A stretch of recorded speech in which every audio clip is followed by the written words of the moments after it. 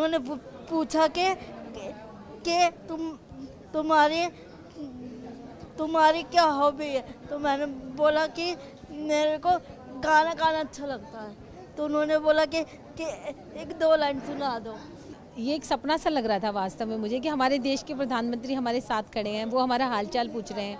इस बच्ची के बारे में उन्होंने सारी डिटेल्स पूछी कि आप इसका देखभाल कैसे करते हो क्या करते हो इसको वैक्सीनेशन में लेट क्यों हो गया? और इससे भी बातचीत की कि तुम्हें क्या पसंद है क्या करते हो क्या आपका रूटीन क्या रहता है।